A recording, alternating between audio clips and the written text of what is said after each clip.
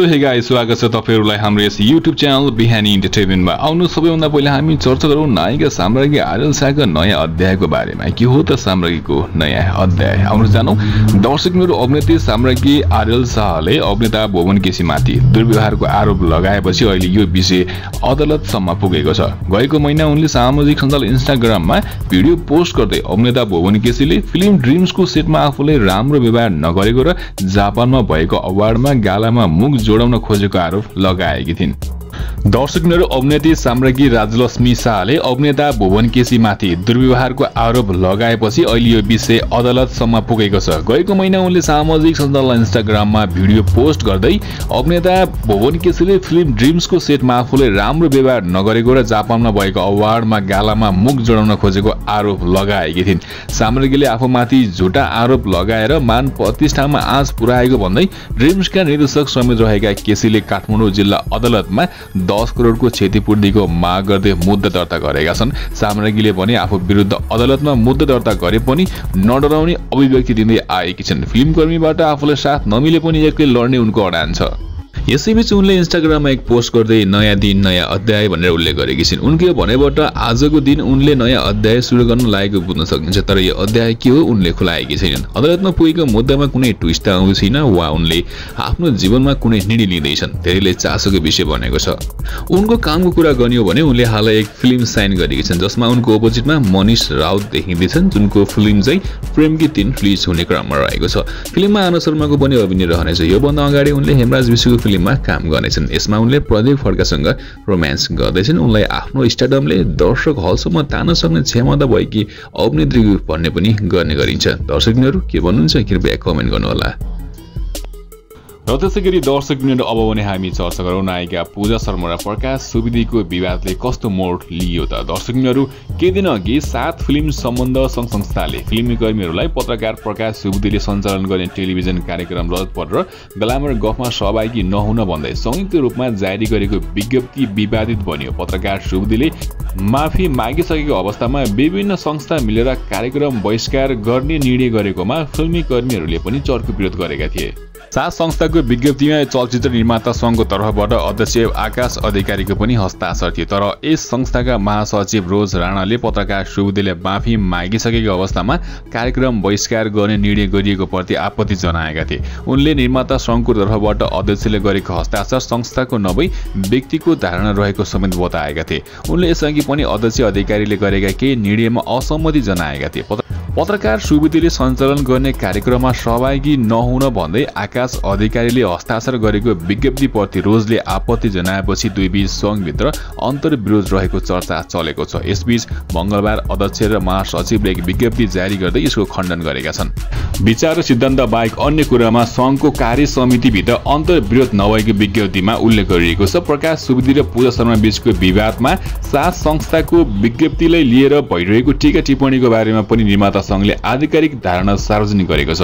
वार्ता र संवादबाटै समस्याको समाधान गर्नुपर्ने पक्षमा सङ्घ रहेको विज्ञप्तिमा उल्लेख गरिएको छ। दर्शकहरू सङ्घका अध्यक्ष र महासचिवले हस्ताक्षर गरेको विज्ञप्तिमा भनिएको छ उक्त विवादलाई लोकतान्त्रिक मूल्य र मान्यता अनुसार सभ्य रूपमा वार्ता र संवादबाट नै समाधान गरिनु पर्दछ भन्ने निर्माता सङ्घका अध्यक्षज्यूको प्रारम्भदेखि नै कथन रहेको थियो जुन निर्माता सङ्घको आधिकारिक धारणा समेत हो। उक्त विवाद संवादबाटै समाधान हुनेमा निर्माता सङ्घको विश्वास व्यक्त गरेको छ भनेर चलचित्र निर्माता सङ्घले विज्ञप्ति जारी गरेको छ। दर्शकहरू तपाईँहरू पनि के भन्न चाहनुहुन्छ? के कानुनी प्रक्रियामा जानुपर्छ या वार्ताबाटै यो विवाद समाधान गर्नुपर्छ भन्ने लाग्छ भने कृपया तपाईँहरूको विचार कमेन्ट बक्समा सेयर गर्नुहोला। धन्यवाद। धेरैजनाको एउटै मतलब धेरैजनाले मेरो कुरा बुझ्नु भएको छ सपोर्ट गर्नुभएको छ। तर धेरैजना हुनुहुन्छ कि? उहाँले एउटै कुरा क्वेसन गर्नुभएको छ। किन यो अहिले बोलेको? किन यो पहिले नबोलेको भनेर। म पागल छु म यति ढिलो बोल्न। यो कुरा मैले पहिले बोल्नु खोज्दाखेरि म बच्चा त्यति बेला म नयाँ थिएँ। अनि मैले यही कुराहरू निकाल्न खोज्दाखेरि मलाई धेरैजनाले रोक्नु खोज्यो। एउटा सानो इन्टरभ्यूमा मैले जब सानो अलिकति मैले मैले पुरै पनि भनेको थिइनँ। हल्का मैले मेरो स्ट्रगल्सहरू भन्दाखेरि उल्टो त्यही स्ट्रगल्सहरूलाई मलाई घुमाएर मलाई नराम्रो देखायो मलाई नराम्रो बनायो। यति नचाहिँदो नचाहिँदो न्युजहरू निकाल्यो। अनि त्यति बेला साँच्ची भन्नुपर्दा मेरो family they feel very bad they feel bad not because म सही होइन। त्यही उहाँहरूलाई थाहा थियो कि मैले सही कुरा बोलिरहेको छु। दे फेल ब्याड कि राम्रो कुरा सही कुरा बोल्दाखेरि त यहाँनिर भित्रभित्र यस्तो पावर पोलिटिक्स हुन्छ कि घुमाएर उल्टो यस्तो गर्दो रहेछ अनि त्यही फेल त्यही भयो हर्ट होइन अनि त्यसपछि गएर छोड्दै यो छोड्दै छोडी यो कुरा ननिकाले हुन्छ भनेर त्यस्तो भयो कि अनि यो चाहिँ मलाई नि यस्तो कुराहरू झन् लुकाउनु मन लाग्दैन कि मलाई बोल्नु मन लाग्छ कि।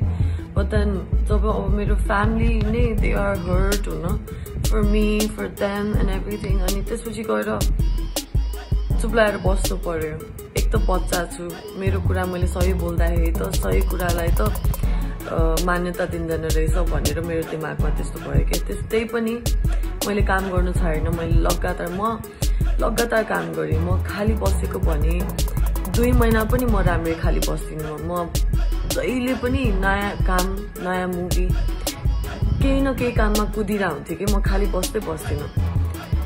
तर के भयो नि त्यो खाली नबस्ने दौर दौरानमा मैले मेरो अर्को एक्स अरू मुभीको एक्सपिरियन्सेसहरू पाएँ। अनि मलाई के भएको थियो भने ए तिनवटा मुभीको एक्सपिरियन्सबाट मलाई के भने ए यो मुभीहरू त मान्छेहरू त एउटै हुँदो जस्तो छ हुनु। अनि यहाँसम्म लाइक सबैजना यस्तै हुँदो रहेछ। बाहिर मात्रै राम्रो रमाइलो।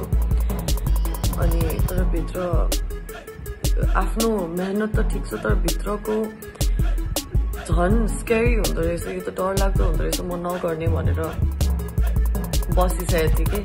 तर त्यही पनि अब मेरो मामले यत्रो दुःख गरेर एउटा नाम कमाइरहेको छु सुन खुट्टामा उभिसकिस् किन अब यति यत्रो त्यो स्टेप्स लिइसकेपछि फेरि किन त तल जान्छस्? किन तल झर्छस्? नै यसरी नगर पक्का हुन राम्रो मुभीहरू गर्दै गर मेहनत गर्दै गर पछि गएर जब टाइम आउँछ तैँले यही कुराहरू बोल्दाखेरि तेरो आवाज मान्छेले सुन्छ र बुझ्छ भने मेरो साथीहरूले पनि मलाई भन्यो कि। अनि त्यसपछि गएर मैले आई आइडेड तिमीसँग गाएर मारुनी मङ्गलम रातो टिका साँच्ची भन्नुपर्दा शिशिर राणा अहिंसिक देवता Poonam they honestly like they opened my eyes के like साँच्ची भन्नुपर्दा साँच्चीकैको राम्रो मान्छेहरू कि त्यसपछि मलाई हो पाएर होइन रहेछ राम्रो मान्छेहरू छन् राम्रो मुभी बनाउने मान्छे